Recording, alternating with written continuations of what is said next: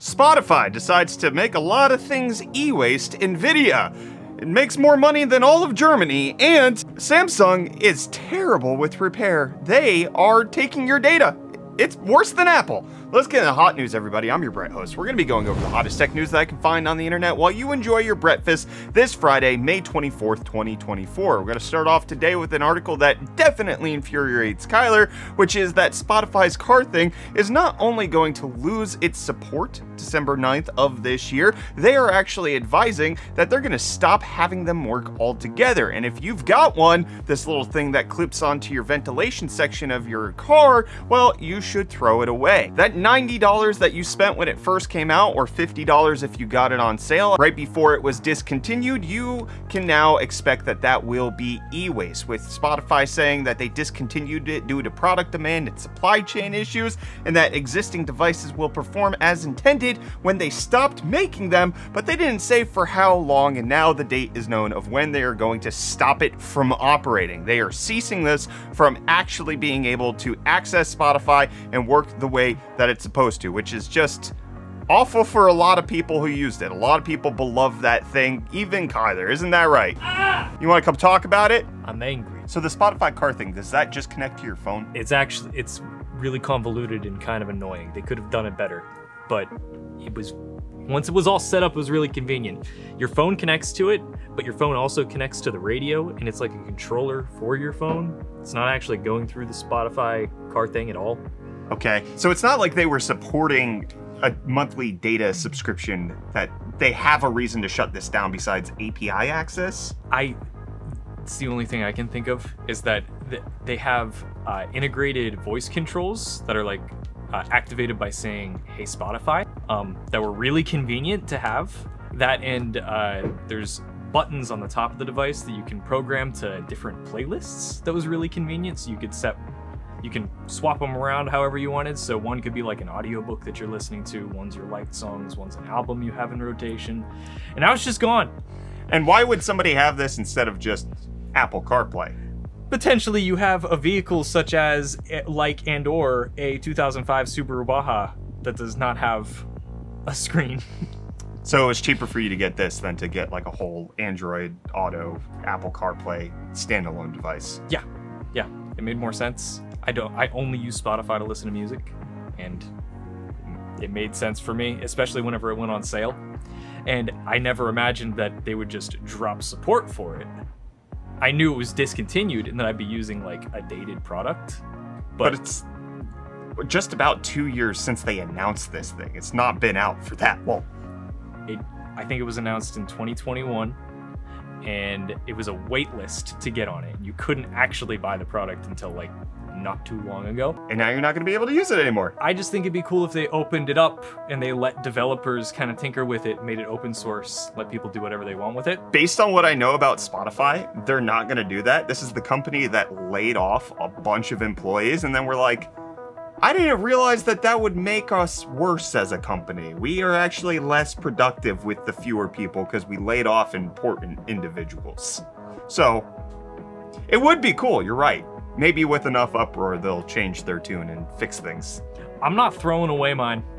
I'm keeping it. Maybe you'll be able to hack it. Maybe I'll smash it. I'm gonna cut that. Get out of here. But while Spotify's discontinuing their car thing, Nvidia is continuing with their gaming thing, with us getting in details on the RTX 5090, some new rumors coming out indicating that it's going to have a triple PCB setup with having many different sides of memory. It's going to have a whole lot of GDDR7 in a very unique layout surrounding the entire Founders PCB. And it might be very similar to the weird board that we saw with this leaked four slot cooler that was allegedly supposed to be the 4090 Ti, where it actually sat perpendicular to how it normally does on a regular graphics card. But regardless of whether or not this rumor is substantiated, whatever the 5090 ends up being, Nvidia doesn't need you to buy it you poor gamer, they don't need your $2,500 for the 5090 because they are just making it obscene amount of money with all of their data center stuff. They came out with their Q1 financial report, and it is just mind boggling how much money they made. We've already talked about this every single time they've come out with their quarterly earnings. Ever since this kind of AI boom has started, it's been obscene amounts of money every single time, and this time is even higher. They're coming out with $26 billion in Q1, which ended on April 28th for them, with them showing that yes, 26 billion in revenue, 78% gross margin. They're showing here that it's $6 er, of earnings per share, which is absolutely nutty. Their net income's up 628% year on year. Their operating income's up 690%. And it again, it's all essentially coming from data center. 22 billion out of that 26 billion is accounted for in the data center companies buying the H100, H200 GPUs.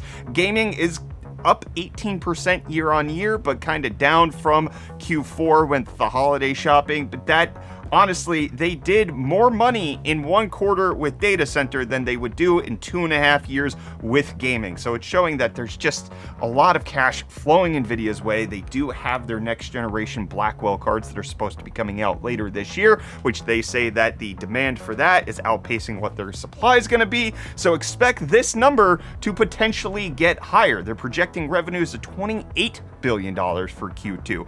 At this, the stock jumped through the moon. It was over a thousand dollars at the time of recording, which put their market share higher than a whole bunch of different things. They're nine times the market cap of AMD, the combined market cap of Amazon and Tesla, or four times that of Tesla, 10 times the market cap of Qualcomm, the market cap of Walmart and Amazon combined. The Russia is entire GDP plus $300 billion in cash, the entire market cap of Germany's entire stock market rolled up in one little GPU company that started at Denny's and would have completely collapsed if it weren't for a $5 million investment from Sega back when they were making the Dreamcast GPU. What a wild ride it has been for Nvidia and just I'm kind of at least thankful they're still planning on making gaming GPUs because if they weren't I wouldn't blame them. They're making way more money not caring about us gamers whatsoever. They can charge us whatever they want, and if we don't pay for it, they don't need our money anyways. Additionally, they are planning a 10 to 1 stock split that's supposed to happen on June 7th, so it's going to be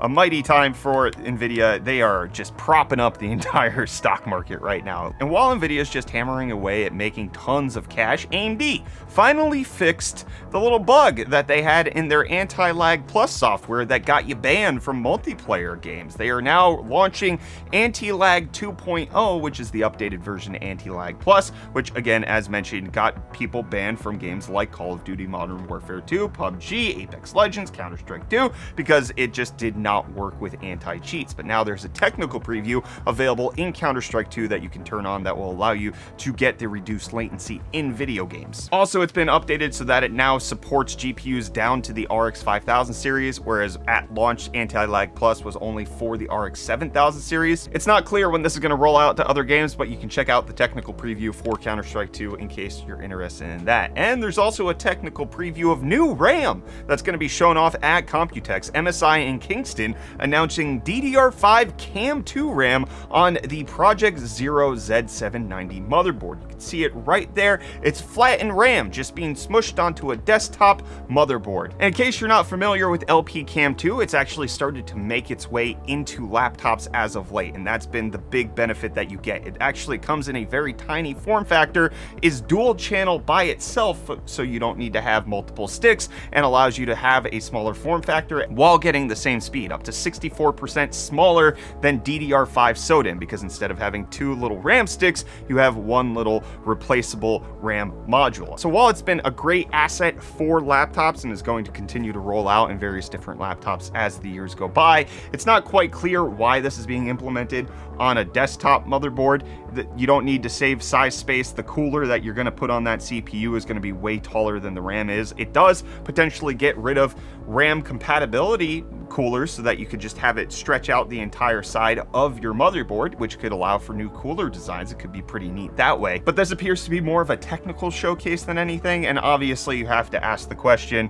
where does the RGB go? I have no idea where you put lights on that thing. But while RAM's getting smaller, it turns out that Apple wants to make their MacBooks bigger, with reports coming out that they're gonna have a foldable MacBook Pro, potentially MacBook Air type device that should be launching sometime in 2026 with the M5 or M6 chip, and when it's fully unfolded can get to the size of 20 or 18.8 inches, and then when it's all completely collapsed, it's thinner than the current MacBook Air 13 inch. Apple's allegedly working with LG to produce this display and make it as crease-free as possible, which potentially could be easier than it would be on a folding phone because the typical work case for a laptop is having its clam shut a few less times than a phone that constantly goes back and forth from the pocket. But this is just preliminary indications from Apple trying to source a few different parts. It could be that they never end up coming out with this, just like it was with the Apple car. They invested a lot of money, spent over a decade working on it, and then canned the entire project. So who knows if it actually makes it to market. And if it does, it'd probably be very difficult to repair, knowing Apple. But it turns out that Samsung is going to take the crown for the worst company to work with when it comes to repair products. Because iFixit announced yesterday that they are canceling their partnership with Samsung, specifically saying that their approach of repairability does not align with iFixit's mission and that they doubt Samsung's commitment to making repair more accessible, with them saying things like they couldn't get parts to local repair shops at prices and quantities that made business sense. The part prices were so costly that many consumers opted to replace their device rather than repair them. Additionally, they frustratingly glued their parts together, forcing them to sell batteries and screens in pre-glued bundles that increased the cost. So that's pretty damning that iFixit is removing themselves from that partnership, but it turns out they weren't making a whole lot of money or selling a lot of parts in the first place because of Samsung's negative commitment to the entire venture. Additionally, Samsung wasn't providing all of that many parts to iFixit, with the S22 lineup being the last official generation that iFixit got official parts for from Samsung themselves. But while the iFixit story broke, there was another report that came out from 404 Media condemning Samsung even harder, with them forcing independent repair shops to submit user data up to Samsung and report whether or not third-party replacements had been used in their devices, and potentially to even have those repair shops destroy users' phones. 404 Media got access to a contract showing the stipulations between this independent repair shop and Samsung, and it includes phrases like, the company shall immediately disassemble all products that are created or assembled out of, comprised of, or that contain any service parts not purchased from Samsung, and shall immediately notify Samsung in writing of the details and circumstances of any unauthorized use or misappropriation of any service part for any purpose other than pursuant to this agreement. And it also required these repair shops to upload daily details of various different information about the customers that had their devices serviced, including their address, their email, their phone number, what's wrong with the phone, warranty status, details of the customer complaint, and the IMEI number. And one of the biggest issues that's being brought forth with this is that likely independent repair shops are not disclosing this to the customer and they're not aware that their data is actually getting provisioned to Samsung. 404 Media talked to some consumer rights advocates and consumer rights groups trying to find out why would Samsung have all of these details in the contract, and it turns out that while Samsung could say it's just about fighting counterfeits, it also is kind of in violation of the Magnuson-Moss Warranty Act that allows users to have third-party repair items. They're allowed to fix their device however they want, and then if they bring their device that they fixed in certain capacities to a, an actual Samsung verified repair shop, that could potentially result in their phone being destroyed and then that user's data getting submitted to Samsung. With it looking like it's an invasion of customer privacy, it's a lot of control that Samsung's putting on these independent repair shops that actually make it so that they're Samsung repair shops. And according to all estimations, this is worse than anything Apple has done. While Apple has had their own issues with right to repair, they have done things that are not necessarily for the consumer. They have not gone as far as to require all of this user data being uploaded to them on a daily basis and then having phones destroyed if they're using third-party parts. This is a egregious violation in multiple different facets. It's no wonder that iFixit has broken up in their relationship with them, with iFixit saying that they do not require this information for any other partnerships and do not share customer information with any other OEM. And when you do buy those parts over on iFixit, it does show you that you have to consent that your data is going to be shared. So at least iFixit making sure that the customer knew what was going on. But again, many independent repair shops likely would not do that and still have that information submitted to Samsung. It's a big problem overall. Samsung getting lambasted for their poor repair strategies. Let me know what you think about this. Have you gotten your own Samsung device repaired at an independent third-party repair shop? And were you informed of any sort of disclosure that would happen if you got an official Samsung replacement part? Let me know down below in the comments while I respond to your comments from yesterday's episode of Hot News. We got a Rouse Lamp saying DDR6 with APUs go brr. It likely will be fast, but it also uh, brings up the comparison that things like the massive APUs that you have in a PlayStation 5 or an Xbox are using GDDR RAM for a very valid reason, and that's the speed is still way higher. With the GDDR6 RAM that's in a PS5, you're looking at roughly half a terabyte per second of memory bandwidth, whereas with DDR6 21000, you're looking at close to 170 gigabytes per second, so it's actually only still one third of the speed, and so APUs will go faster, but it still won't necessarily be as good as if they were using VRAM in the first place. And then Dustin Short talking about the ScarJo situation with OpenAI, saying, I said this on the last one too. Bette Midler versus Ford Motor Company in 1984. They wanted her to sing a song, she said no. They hired an impersonator, she sued and won in a federal appeals court, setting a pretty strong precedent. OpenAI asked Scarlett to do the voice and she said no. They claim they talked to the other voice after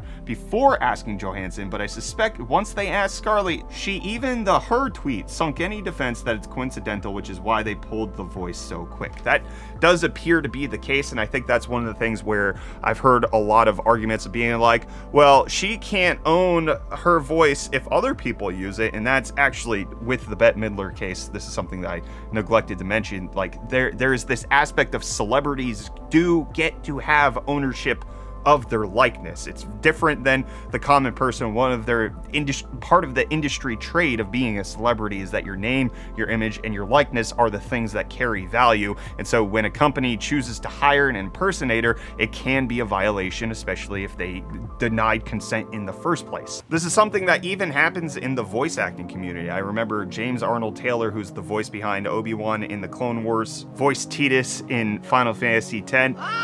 Ah, he had a vlog about his voice acting experience, and one of the contracts he was hired on for was to do an impersonation of a different character. And he refused to do that and almost lost the job. And he had to communicate to the people that hired him hey, I can't actually reproduce this other person's voice without their consent. I know that I have the range to do it, but I don't have the permission to do it, regardless of whether or not you want me to do the voice. That ended up getting resolved because they did get the consent from the other voice actor that James Arnold Taylor could replicate his voice. So even if somebody sounds like Scarlett Johansson and they use that to train their data, even if it's not perfect, but the intent was to have it sound like Scarlett Johansson and get you to think about her, the movie, and her, the person, well, then that creates enough of a connection that there could potentially be some legal ground that OpenAI is very shaky on. And then Nicholas saying, can you see a future where you just dock your phone and boom, PC, maybe dock has a GPU on it and then you fit a gaming PC?